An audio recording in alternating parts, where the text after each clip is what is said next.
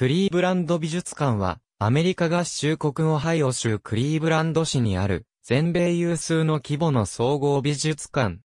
クリーブランド市東部の文教地区、ユニバーシティサークルにあり、収蔵点数は7万点、展示室の数は70を数える。1913年に開設され、コロンブス来航以前のアメリカ大陸や中世、ヨーロッパ、日本、中国、韓国など東洋美術、印象派など近代美術から現代美術までの大コレクションを持つ。また大きな美術図書館、パフォーマンスアートのための舞台、レストランなどがある。音楽コンサート、映画上映、講義なども開催される。美術館への入場料は無料。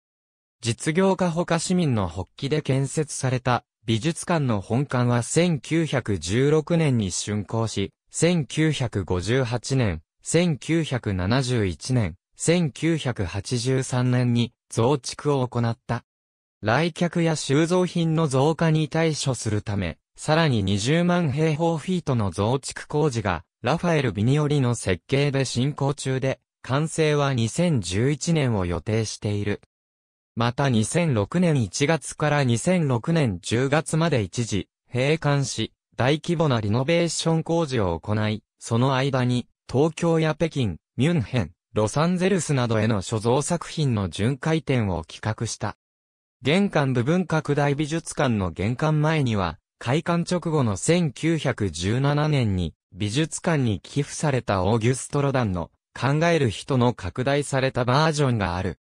この像はロダンが生前最後に鋳造を直接指揮した作品の一つであるが、1970年に抗議者により、破壊行為を受け一部損傷した。しかしロダンが直接鋳造に立ち会ったことを尊重して、手を加えないために補修はされていない。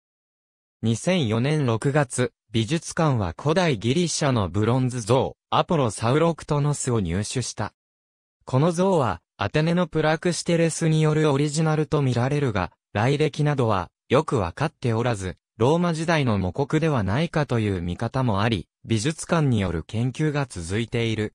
2011年、この作品は、西暦前350年から西暦前250年のものであると発表された。